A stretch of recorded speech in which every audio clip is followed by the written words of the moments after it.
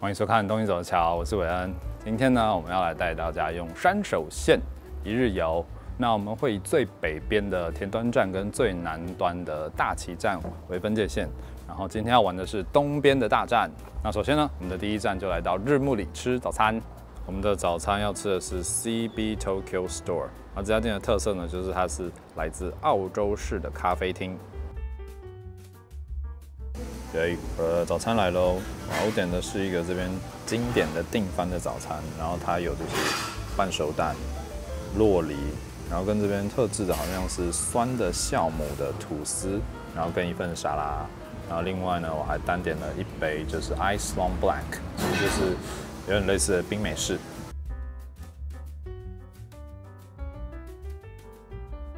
然后除了咖啡以外，其实有卖一些日杂。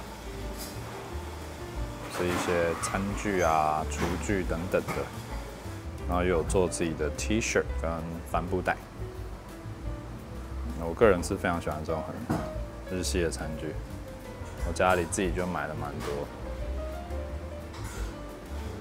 我们吃完早餐了，来简单讲一下心得。首先就是。我觉得它的那个面包本身啊，就非常的好吃。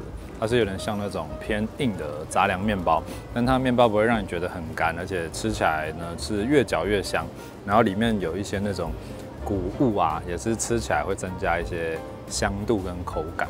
然后再来另外就是它的那个洛梨，因为洛梨最近这一两年我还蛮喜欢，所以它本身就是一个好吃的食材。最后就是它的咖啡，我点的是 Ice Long Black，就有一点像冰美式。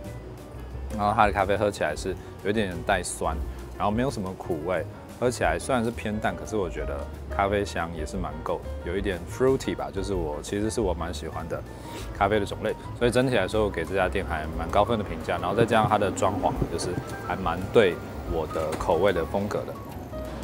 那我们接下来的第一个行程呢，就是要在日暮里站这边的谷中银座商店街逛逛。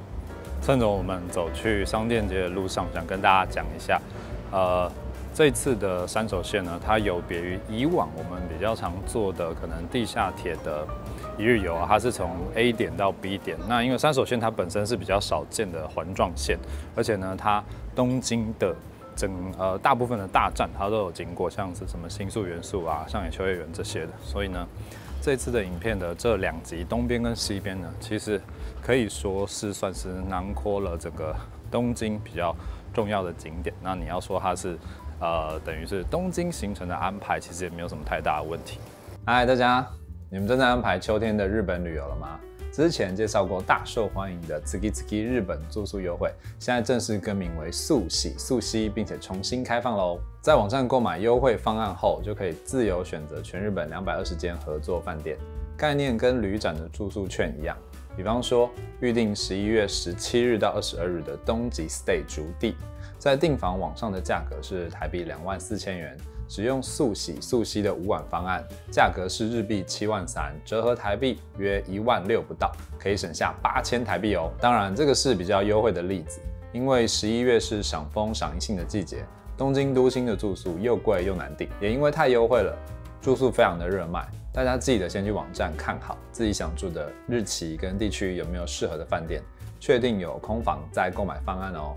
这次重新开放，还新增了最多九天的方案，提供更多自由搭配的空间。配合的饭店都是知名的连锁集团，品质都有一定的保障，大家可以放心的预定。网站呢也有全中文，使用说明都很详细，任何问题都可以洽完美型客服。速喜速喜网站以及完美型客服链接都帮各位放在影片资讯栏。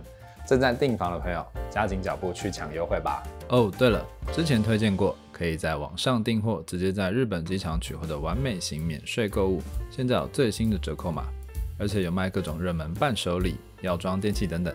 有兴趣的朋友可以暂停下来截图哦。我们从刚刚那边走路大概五分钟，就来到了古中银座商店街啦。因为现在才十点的关系，其实大部分的商店啊都还没有开。通常大概比较常见的时间是十一点左右，店家才会陆续的开幕。大家从这个商店街的风景啊、建筑，应该就可以感觉得到它的那种复古怀旧的风情。而且其实欧美游客啊，特别喜欢这种很有日式复古风味的地方，可以看到这边欧美人超多的。你看，真的完全没有 C 哦，刚走过来经过的六个人全部都是欧美的游客。那虽然现在店家都还没有开，不过不用担心，因为我们是东京走的桥，所以我们有很多空景。像我后面这家的和力鸭，它是专门卖栗子相关的，呃，就是甜点啊。然后我们之前有吃过，个人是觉得还蛮好吃的，虽然它的价格稍微贵一点点。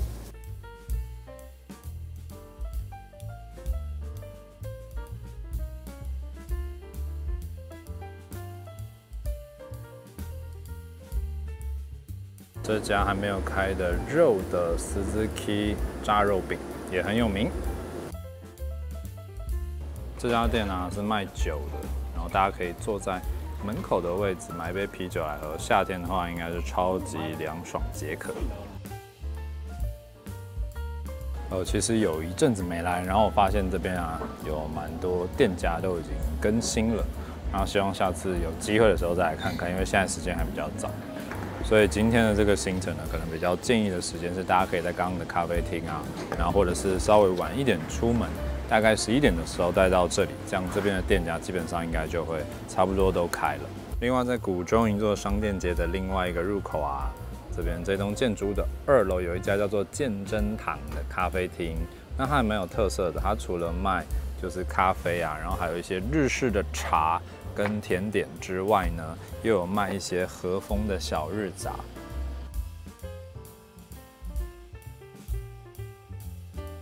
另外，古中一座商店街这边还有个特色啊，就是这边这个应该是夕阳的斜坡或者夕阳的阶梯，因为这边在日落的时候从这边拍过去，可以拍到古中一座商店街，然后跟一些夕阳的颜色还蛮漂亮。我们从商店街走路大概五分钟就来到日暮里站。那我们接下来就前往我们的下一站上野。大家如果看这个站牌啊，仔细观察，其实它有猫咪的耳朵、猫咪的手掌跟猫咪的尾巴哦。然后因为上野站比较大，建议大家可以出来之后呢，往中央口的方向，然后呢往这边走出去之后呢，就可以到阿美横丁啦。我们现在人来到上野车站的对面啦。那今天呢，因为行程时间安排的关系，我们在这里只会简单逛一下玩具店亚麻十六鸭，然后呢，以及阿美横丁这两个地方，然后顺便一路散步到秋叶原。那如果大家呢，呃，想要花更多时间在上野的话，或者想知道上野有什么话，可以去我们的频道搜寻上野。那另外呢，因为今天的行程呢，呃，是三手线把它拆成两天玩东京，所以。如果你喜欢玩比较轻松的话，其实这个行程你拆成五六天啊，去玩那一天大概安排两三站也都没有问题哦。这家亚麻西罗亚一整家都是卖玩具的，还蛮爽。门口就有各式各样的扭蛋，重点是这边有一个吉卡哇专区，超可爱。这里有巨量的吉伊卡哇扭蛋。这里用各式各样的小东东超多的，我觉得你喜欢买玩具类的人进来就会疯掉。这都 Q 版的，好可爱哦！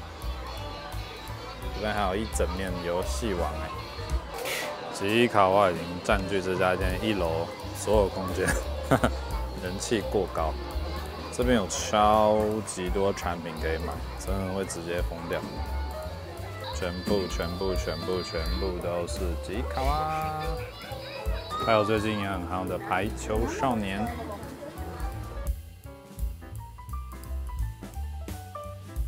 我决定还是扭一个五百块的，好可爱哦！哎下，哦，哎，吉卡哇本人，好可爱哦！本人长这样子，超可爱的。我们从上野车站的应该是不人口，跟上野公园正对面移过来。接下来要逛阿美横丁。接下来的行程相信大家都很熟了，但是呢，为了预防还是真的有没看过的新观众呢，我再简单的讲一下。我们从上野横呃上野的阿美横丁这边的车站出来的入口呢，然后一路走阿美横丁。阿美横丁这边呢，基本上就是有非常密集，然后据说呢是比较便宜的药妆店，很多家。那这个从头到尾大概有六到七家，所以在这边一次就可以把药妆买齐。那另外呢，阿美横丁这边呢，其实比较像是一个传统市场啊，菜市场，所以这边呢也有卖蛮多当地的小吃啊、干货啊、水果，然后包含像二木果子这种干货啊、零食饼干的店。那总之它就是一个非常好买药妆、零食跟饼干的一个非常集中的地方。帮我老婆买了两罐这个第一三共的肠胃药。因为她肠胃不好，所以换过蛮多种，然后最近觉得这种好像还蛮好，蛮有用。这边有一家 Sundrag，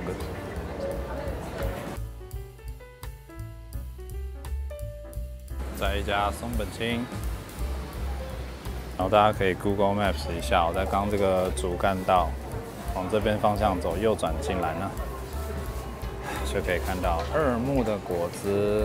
然后这边真的是什么鬼东西都有卖，糖果、饼干、干货、零食。哦，你如果没有时间去太多地方的人，来这边一站购入全部你想买的东西，基本上都有哈。啊，不管是那个朋友叫你买的饼干啦，哈，妈妈叫你买的这个昆布啦，啊，炖汤用的啊，全部都有。啊，这没有叶配，谢谢。这里其实也有一家小小的唐吉诃德。我不知道唐吉诃德竟然有卖隐形眼镜日抛哎！因为我最近留长头发，所以想说来买买看，好像有蛮多人推荐的发油，它是造型品的发油，然后叫做 Track Oil 啊，一号、二号，看来三号是卖最好，三号已经卖完了。在这家店看到 Remova 经典的那个款式。但其实我刚刚算一下，台币也要七万，不太清楚这样是有比较便宜吗？因为现在夏天真的太热了，他们有出这种瞬间冷却包，感觉是暖暖包的相反，冷冷包。好，我刚刚买完那个 Track Oil 之后呢，想要继续往秋叶原的方向前进啦。我们就从上野公园的方向往这边一直走，可以到秋叶原。那因为今天天气蛮热的，而且我刚逛街逛的也有点累啦，所以呢，我现在想要去一家我之前有吃过在上野跟秋叶原中间的很好吃的亲子洞，然后看看是不是能够吃到。到了，就是这家托利兹内自然洞，大家搜寻自然洞，然后导航过来就可以了。那我们就进去吃吧。这个特上亲子洞限定只有二十份而已，所以通常都是吃不到。我上次是吃这个上亲子冻，好吃饱了。那因为今天那个我坐在柜台位置的关系，所以呢比较不是那么好拍。我们就看一下我上次吃的心得吧。吃饱喽，这家真的是我目前吃过最好吃的亲子冻。然后简单分享一下心得，这家在台北路上有三点七七分，算是还蛮高的。然后它亲子冻好吃的地方就在于，我今天点的是上亲子冻，然后是一千五百块。它的鸡肉啊，不管是鸡胸肉或是鸡腿的帕，都完全不柴，那有一点点的口感，然后吃起来非常的水嫩。然后再来就是蛋，它的蛋啊非常的香甜，然后而且呢，亲子冻的蛋因为会分两次煮嘛，所以第一次下去的蛋就是会有比较比较熟、比较香的味道。那第二次的蛋呢，就会比较生、比较甜，然后比较滑嫩的口感。然后我觉得它的饭也很好吃，所以你一口吃下去就会有酱，然后会有蛋的香甜，然后会有鸡肉的味道，然后饭也很好吃。然后总之，它就是一碗非常好吃的亲子冻，然后大推给大家。然后另外它每天会有二十份限量的特上亲子冻。然后今天已经卖完了，下次想跟爸爸一起来吃吃看它的特上亲子洞。其实我们从刚刚餐厅那个巷子这样走过来，马上就到秋叶原啦，还不到五分钟。然后这边是莫广丁站的地方。如果有认真看东桥影片的人，其实应该知道我的这个定番的行程啊，路线都是蛮固定的。但是你其实东京熟了之后啊，你就可以把这一些不同的地方的行程。然后利用地理位置去加入，所以你看，像我今天呢，我除了打三手线之外呢，我到了上野站，我就知道说，哦，其实秋叶原到上野这边呢，我可以用步行的，而且中间呢有哪些餐厅啊什么，就是当你东京玩到熟到一个程度之后呢，你就可以自己组合安排，然后去你最爱的地方啦。秋叶原就不用我多说啦，各式的扭蛋啦、模型真的是超级多了。这一次我也决定在来找几家店逛逛。这边都是我之前跟爸爸在夹娃娃有看到或夹过。然后这只我们昨天两百块夹到，然后这边卖的话是三千五。所以如果大家对夹娃娃有兴趣的话，可以练练看，搞不可以用便宜的价格夹到。这只我昨天也是大概一千七百块夹到，然后这边是卖三千五，但听说这里是有卖比较贵。好像市场均价大概是两两千多左右吧。刚隔壁卖三千五，然后同样一只这边就卖三千，所以大家其实记得比价一下。这家博多丰隆拉面的隔壁就就巷子里的一个嘎恰烹会馆，这边呢就是专门卖扭蛋的店家啦。这边其实也有一家很大的唐吉诃德，但因为我刚刚已经逛过，我就不逛。然后我这次的路线主要也是从，也是从刚刚那边一路走这条大马路过来嘛。然后在这条路的两侧，左右两侧逛，其实就还蛮多东西可以逛。好，这一家就是夹娃娃，然后还有一些大型机台游戏，这个也是连锁。刚刚在上野那边也有。这家的话，我记得也是卖一些中古的动漫的相关的东西，我等下想去这边看看。然后那个隔壁这家 Big Camera Big Camera 跟 Yodobashi Camera 在车站那家，这两家呢就都是卖电器的好地方。等一下我也想去逛逛，因为想看一下最新的 Dyson。其实我今天主要是想要看这一支最新的这个直发夹，然后也可以吹头发。这边看起来是卖五三八零零，然后免税的话是四八九一零。然后如果还可以再用家电打那个七趴的话，应该又会再更便宜。那这边也还有一些最新的吹风机啊，我的是第一代了，跟这个已经有差了。之前想要买这台 A7C 还蛮久，我记得它好像已经出了第二代。还有这个 A7C2，之后如果买单眼的话，想要买这一台。刚在那个 Big Camera 还有上野，其实都逛了蛮久的，所以现在行程有一点小小底累，所以我也想跟大家说，如果你真的觉得呃自己是蛮会逛街的人的话，那我们的行程就可以参考一下，然后可能把它就是真的拆分成几天，这样你自己逛起来也会比较爽。那我们秋叶原的行程就用夹娃娃做个结束吧，都来到这里，怎么可以不夹呢？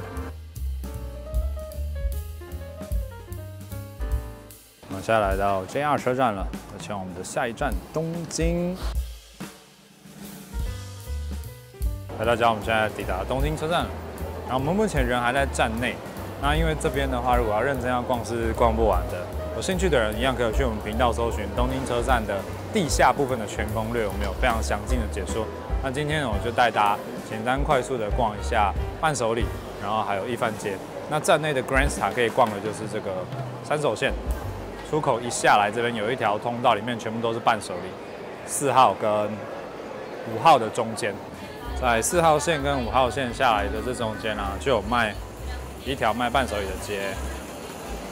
然后这边伴手礼其实都算蛮夯的啦，大家可以看自己喜欢的种类买来吃吃看。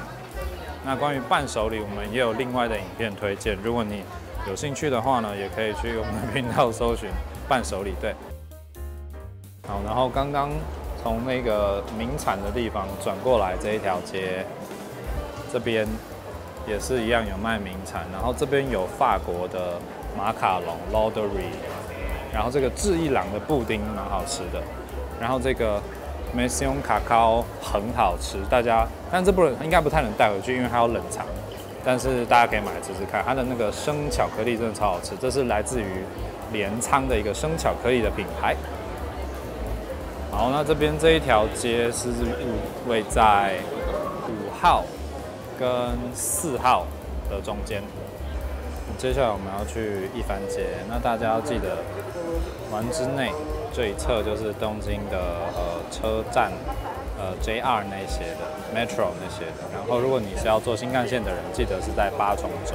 那因为一番街是在八重洲的方向，所以如果你不知道路的话，就记得往八重洲的方向走就可以了。然后这边路标也有写八重洲北口，然后地下一楼就有东京车站一番街了。大家记得要出站哦，从那个刚刚的东京车站里面走出来，八重洲北口转个弯，这样就到东京车站一番街。往地下一楼，还有还有这边其实也都是啦，还有一二三一呃地下一楼、一楼跟二楼这样，们就主要主攻地下一楼的一番街晃晃。那因为我们今天吃的东西已经呃都有吃到了，所以然后逛街也有逛到。那东京车站的一番街，我主要应该就会主攻 Character Street，结果来地下街又看到吉伊卡瓦专卖店，疯掉。去上野跟东京车站都难逃吉伊卡瓦。除了吉伊卡哇之外，其实还有很多啦，像懒熊啊，然后也有老老朋友的卡门赖达。One Piece 的草帽商店没有开，不知道为什么。然后宝可梦好像搬家搬到楼上还是的样子哦。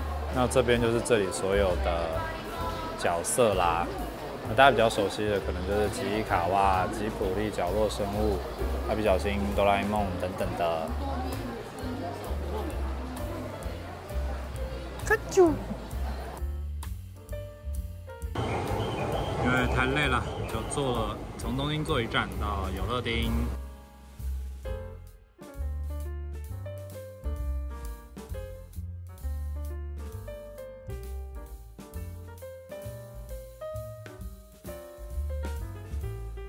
那因为有乐町这边呢，其实已经非常接近银座，所以接下来呢，我们休息完之后的行程就是在银座这周遭随便逛逛。然后我个人是想要去无印良品晃一晃。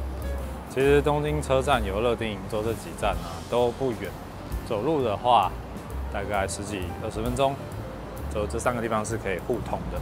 那只是说因为现在东京夏天其实还蛮热，所以。呃，我觉得大家步行的时间自己也是要抓一下，不要热到。然后像我这几天都拍片一直曝晒在太阳下，其实就觉得真的体力消耗特别快。那我们大概走个五分钟，就来到这个我爱逛的银座无印良品旗舰店。每次都一定会介绍一下，因为这里有无印良品的 hotel，然后也有食堂。这家店就是还蛮大一栋的，不管东西的种类啊。或者是货量都非常的齐全哦。在我们那栋无印良品的对面啊，正对面其实就有一家超大的 Uniqlo。然后之前，我都是逛那个在银座大街上那个六七层楼的无印良品的店，但其实我后来有查过资料，发现这一家的 Uniqlo 啊，好像又更大，或者是至少也是差不多大小的旗舰店，所以我这次想要去看看。那像这种比较大的店，可能就会卖比较特殊的东西，像这一家。Uniqlo 就有卖花，它这边只有一到四楼是 Uniqlo。那除了花店比较特别之外，它这边也有 Uniqlo Coffee。然后里面的话就跟大家熟悉的 Uniqlo 差不多，只是它这一家店的一层楼的腹地就还蛮大。Uniqlo C 系列三四楼男女都有，我记得男生好像是最近才有加入 C 系列，不知道这个资讯是不是正确呢？这个袋子之前日本超夯的，在路上可以看到超多人背。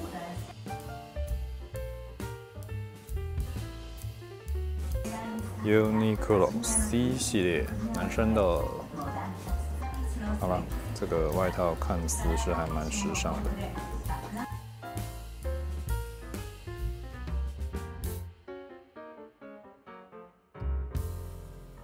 冰松町这一站呢，大家应该会比较陌生，因为它其实是一个办公大楼的区域。不过这里呢，有一个非常重要的景点，那就是这张东京铁塔。没错，最后一站呢，我们结束在这里，其实就是为了要带大家去看看东京铁塔，还有在它下面的增上寺。步行大约十五分钟就可以来到增上寺。好，接下来呢，可以再一路走到增上寺后方的。东京铁塔，现在时间大概是晚上的六点，然后可以看到目前游客的数量其实是非常少的，感觉似乎是一个拜访的还不错的时间。虽然天色可能比较尴尬，就是塔没有点灯，然后可能也不是很亮。但因为人比较稍微少一点，所以拍起照来也比较舒服，人比较少一些。原本呢是可以从这边一路绕到一个自公园的地方，但是我看这几年呢好像都在整修，所以呢我们就还是沿着原路走回去刚刚的门口，然后走另外一个入口到上面去看东京铁塔。从真上寺门口出来之后向右转，往这边直走，走一下下之后呢，右手边会看到这个。门，然后从门左边的走路走道上去就可以了。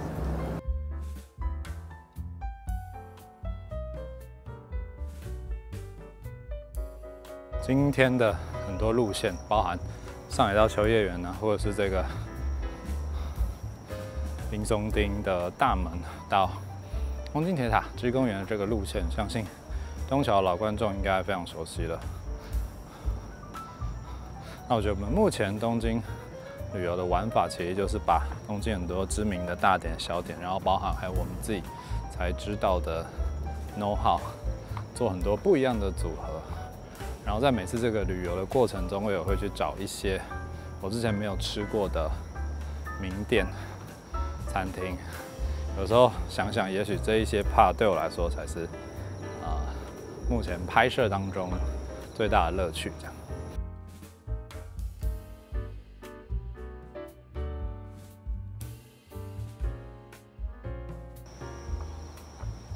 你们没有发现，其实这个画面我是看不到东京铁塔，因为我是为了拍我跟塔的合照给你们看。接下来呢，因为拍摄行程安排的关系，我们的档案呢就会是之前去走过一样的路线所拍摄的，不过内容是完全没有问题的。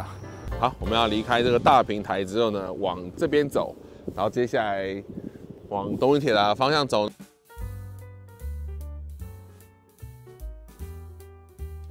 好，我们真的蛮推荐大家从就是芝公园那边啊，然后一路散步到东京铁塔，然后沿路都有蛮多角度可以去拍摄东京铁塔。好了，也推荐大家就是如果有机会的话，也可以登上东京铁塔看看。